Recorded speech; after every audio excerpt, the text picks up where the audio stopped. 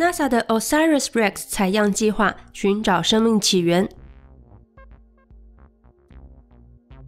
美国 NASA 的人造卫星 OSIRIS-REx 不止成功进入贝努星，还拍了新照片。科学家认为，这颗有四百五十万年历史的小行星可能会让我们找到生命起源的线索。OSIRIS-REx 正在进行采样返回任务，主要目标是收集贝努星土壤样本，再将其带回地球进行分析。这个月二十二日，NASA 分享了贝努星南半球的新照片，这些画面是用太空探测器上的 NavCam 拍下的。这项技术不只能让 OSIRIS-REx 能够拍下太空陨石的照片，还能监控这类行星周围的路径。贝努星宽度约仅五百公尺宽，被视为人造卫星所环绕的最小天体。截至目前为止，OSIRIS-REx 已经在贝努星周围绕行轨道十次，以每秒五公分的速度完成一次轨道绕行，需要大约六十二小时的探测时间。太空探测器绕行贝努星团队便能够借由收集的数据，为二零二零年七月的样本收集任务决定地点。